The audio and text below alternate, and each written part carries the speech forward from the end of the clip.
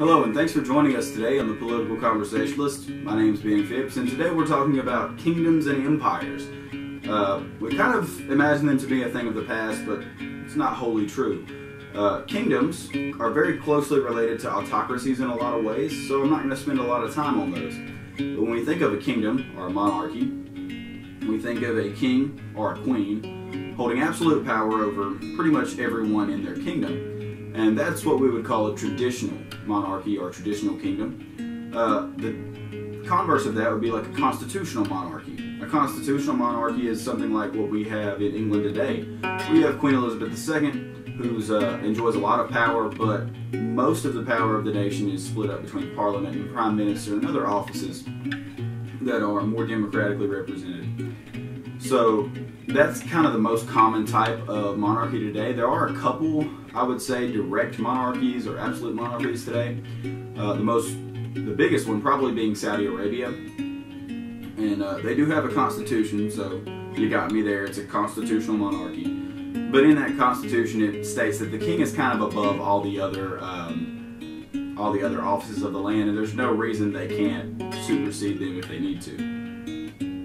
Now, empires normally start, at least in antiquity, they started as a, a, monarchy. A lot of them started with a king or a queen or a prince or whatever.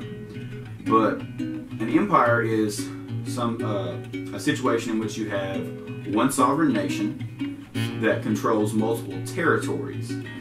Um, the difference between this and a federation is kind of blurry, but a federation uh, tends to give the states or provinces equal footing and equal rights uh, between each other, between each state. For instance, although they're not equally represented in uh, something like the Electoral College, it's pretty comparable to compare Delaware and Utah. They're both states and they both have two senators and they both have congressmen and things like that. They're fairly equal. Well, that's not the same way an empire works.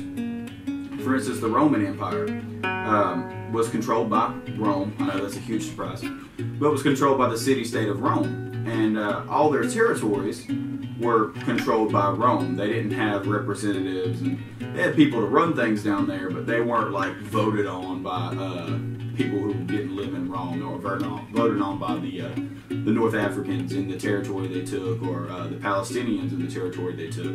It was the city-state of Rome controlled all that territory, and uh, that's probably the biggest empire that's ever existed. Not land area wise, but as far as population. In fact, it was estimated that one quarter of people alive at the time lived and died under Roman rule. And I don't think that's ever going to be topped in human history.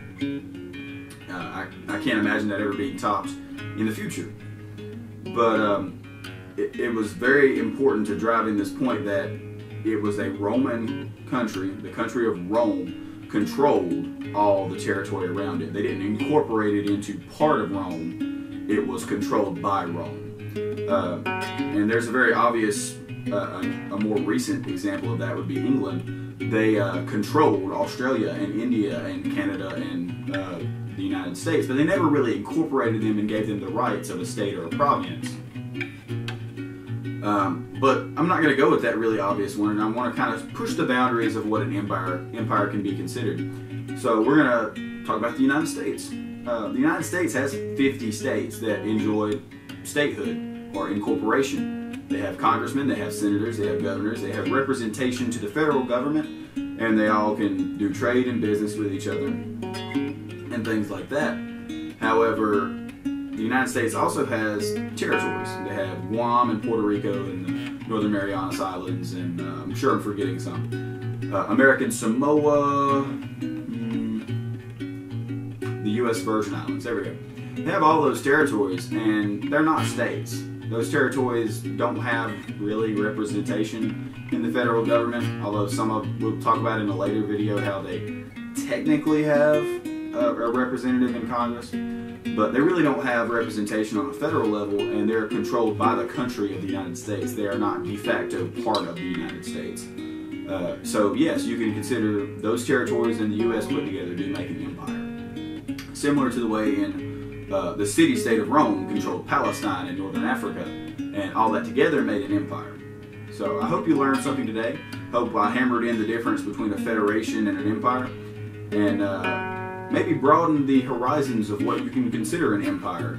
Although its detractors have called America an empire for a long time. Uh, also, don't worry too much. No matter how much the past five or six presidents really wanted to be an emperor, it's not really possible due to the Constitution. You know, all the people who would pitch a fit about it. So thanks for watching. Hope you learned something today. Uh, let me know if you did in the comments. Let me know if I'm wrong about something in the comments. Like and subscribe, and we'll see you next time. Thanks.